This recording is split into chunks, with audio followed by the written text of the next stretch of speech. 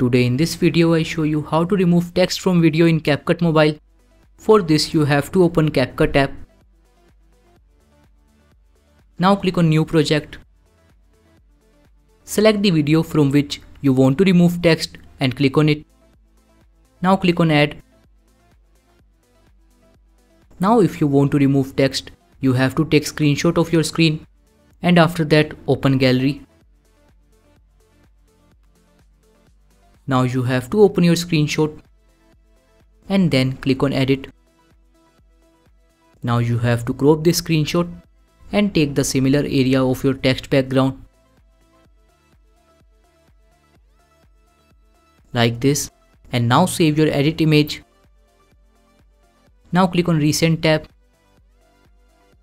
and open CapCut tab like this. Now click on overlay and then you have to click on add overlay. Select photos. Now click on edit screenshot and click on add.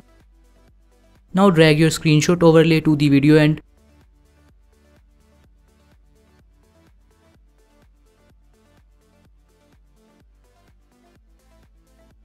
And after that click on overlay. Now you have to slide this to find mask. Click on mask and select the shape you want. Click on checkmark icon. Now take the screenshot overlay and hide your text like this. Click on this icon and now if I play this video, you can see text is removed. Now if you want, you can click on this and select your video resolution, frame rate and quality.